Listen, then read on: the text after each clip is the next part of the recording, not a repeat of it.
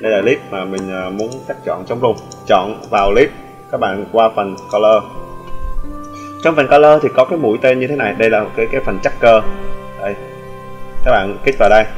Thì trong Windows cái thanh bên này à, thanh Windows các bạn sổ xuống thì nó có là stabilizer. Các bạn kích vào stabilizer và các bạn đưa clip về trước. Sau đó các bạn bấm stabilizer đây là nút mà thực hiện chạy á. Đó, các bạn bấm vào. Máy tôi nó chạy nhanh, tức là nó lúc này nó đã chống rung xong rồi đó các bạn à. Nó chống rung rất là nhanh.